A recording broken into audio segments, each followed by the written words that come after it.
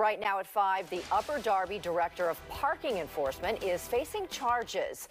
We're talking a long list of theft charges, including receiving stolen property along with other accusations. Now, this comes after a months long investigation. Good evening. I'm Dawn Timoney. Our Jeff Cole joining us live now with the details. Jeff, what can you tell us? Well, Dawn, the Delaware County District Attorney says that the head of parking in Upper Darby actually stole $4,000 in coins from parking kiosks in town and then paid $2,000 back when things got hot.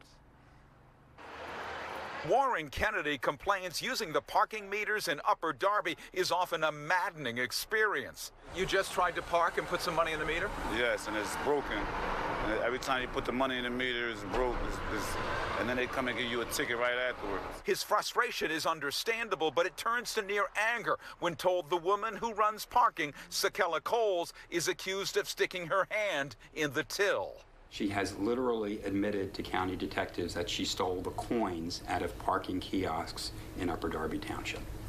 Uh, this is a sad day, of course, for the people of Upper Darby. Coles, seen here on her Facebook page in which she posts about her public service work, is charged with counts of theft and receiving stolen property for allegedly directing a township employee to take coins from parking kiosks, turn them into cash at a bank, and bring them back to Coles in her position as Director of Parking Enforcement. The Delco DA alleges the cash was used for office parties and to benefit Coles personally, and there's more. She went in as parking director, uh, went into the system and deleted eight tickets for family members uh, so they were not paid monies that were owed to the township for violation of the parking ordinances. Mayor Barbarann Keffer appointed Coles in January of 2020. In a statement, Keffer writes the township has already taken several steps to ensure stronger internal controls to immediately address this situation and alter our parking accounting procedures. Coles' attorney says she was inexperienced experienced in her job. Uh, there was believed to be a sum of money taken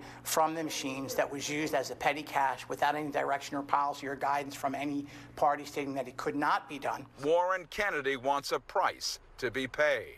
We all got to pay consequences. So she should get she should pay consequences too Very for our actions. The Delaware County DA also says that the parking office failed to forward some 18,000 tickets to the courts so that some folks who may have been parking violators may never have to pay. At the Media Courthouse, Jeff Cole, Fox 29 News, Dawn.